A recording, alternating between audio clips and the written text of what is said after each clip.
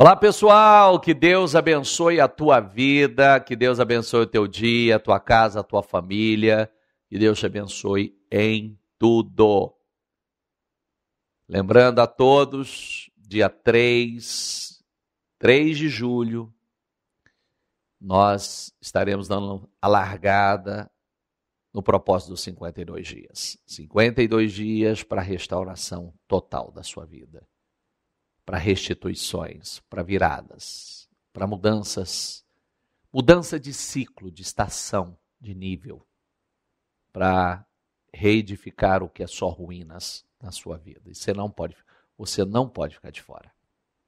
Anota aí essa data, se prepare para estar conosco, porque eu sei que coisas incríveis vão acontecer. Vamos lá, Romanos 12, 6 diz: Deus deu a cada um de nós dons de fazer bem determinadas coisas, de acordo com a sua graça. Assim, se Deus deu a você o dom de profetizar, então profetize, de acordo com a proporção da sua fé. Visto que as suas capacidades naturais vieram de Deus, elas são tão importantes e espirituais quanto seus dons espirituais. Capacidades quanto dons. A única diferença é que você as recebeu no nascimento. Uma das desculpas mais comuns que as pessoas dão para não servir é simplesmente eu não tenho nenhuma aptidão a oferecer. E isso, na verdade, é ridículo. Todos nós temos. Você tem dezenas, provavelmente centenas de habilidades que não foram exploradas. São desconhecidas e ociosas, que estão latentes, ocultas dentro de você. E precisa buscar de Deus. Quero, Senhor, revela a mim. Mostra essas habilidades, me revele. Vários estudos revelam que uma pessoa ela tem de 500 a 700 capacidades e habilidades. Já parou para pensar? Talvez se eu escute isso, você fala assim, mas meu Deus, o que, que é isso? Como é que eu acho que eu não tenho nenhuma? E tem, de 500 a 700. Muito mais do que você imagina.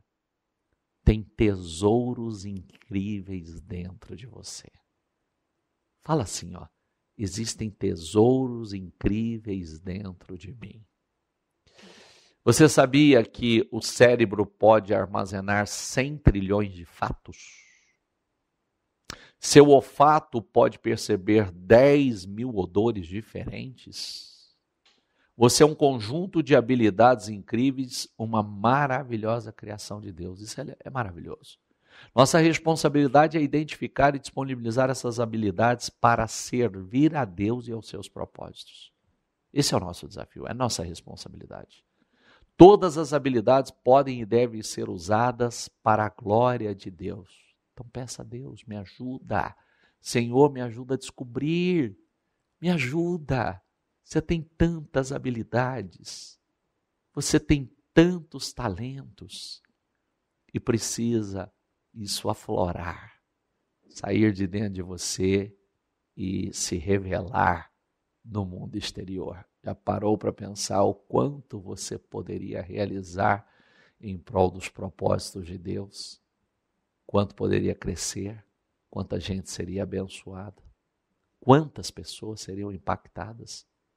Então fala a Deus, porque o que você acha que você não tem, na verdade você tem até de sobra. Pense nisso, reflita sobre isso, que Deus te abençoe, que a unção, que a graça, o favor do Senhor seja poderosamente derramado sobre a tua vida, em nome do Senhor Jesus. Amém? Graças a Deus. Forte abraço e até a próxima.